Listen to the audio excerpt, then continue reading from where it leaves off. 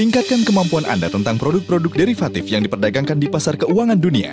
Eh, pasar berjangka atau bursa berjangka adalah bursa yang memfasilitasi perdagangan dalam bentuk kontrak. Berapa dana yang harus disiapkan oleh investor yang ingin berinvestasi di pasar berjangka? Kalau kita melihat harga sudah sangat Belajar Trading 101 bersama Monex Investindo Futures. Pasar berjangka, iya. Rabu 8 Oktober jam 9 lebih 40 menit dalam 8.11. Dipersembahkan oleh